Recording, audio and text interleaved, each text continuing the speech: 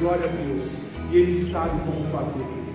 Se existe alguém que sabe fazer, se existe um Todo-Poderoso que sabe fazer, esse é o nosso Deus. E nós precisamos entender esses sinais queridos, os dias estão se abreviando e pessoas não estão entendendo isso, estão vivendo um dia a dia como se não houvesse amanhã. Ah, não, o negócio vai embora, são mais 10 anos, eu estou construindo hoje, daqui a 20 anos eu vou estar bem. Querido, a gente não sabe nem se vai existir amanhã. A gente não sabe nem se amanhã acordaremos. Olha isso em nome de Jesus. Se você salva a tua casa, se você domina o teu bairro, se você conquista tudo que você nessa terra, que você quer nessa terra, mas não conquistar a si mesmo, a tua salvação, a tua alma, que é o nosso, a nossa prioridade nessa terra, construir a nossa salvação, você está morto.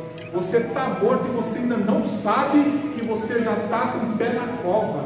Querida, a nossa salvação tem que ser nossa, o mais importante dessa terra. Eu sei, pessoas perderam seus empregos, pessoas aqui da igreja perderam seus empregos, pessoas tomaram uma pancada nesses bancos de investimento. Eu sou uma delas também, tomei uma pancada. Minha esposa até falou para mim: Nossa, está tão tranquilo nessa quantidade de emprego. Eu falei: Vou fazer o quê?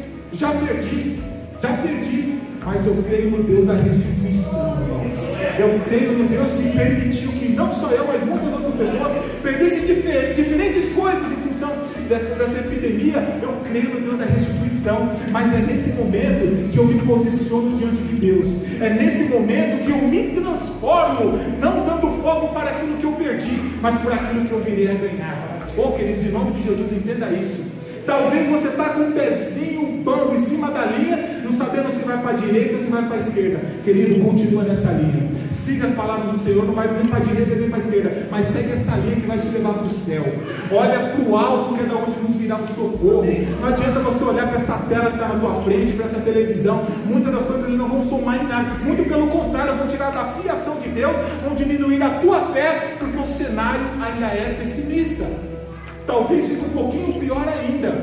Então, esse é mais um motivo para que nós nos transformemos, multipliquemos a fé que o nosso Senhor já colocou em nós, para que nós possamos ver um horizonte maior e melhor, para que nós possamos acreditar que o dia de amanhã vai ser diferente do que está sendo de hoje. E em nome de Jesus, eu creio que nós voltaremos muito mais restaurados que nós voltaremos transformados pela palavra de Deus e por tudo aquilo que nós estamos fazendo, dentro da nossa família nuclear, dentro da nossa casa, dentro daquilo que o hoje, uma vez que estamos dividindo a palavra do Senhor com dois, com três, com quatro, com aquele que faz parte do teu rebanho, você, sacerdote da tua casa.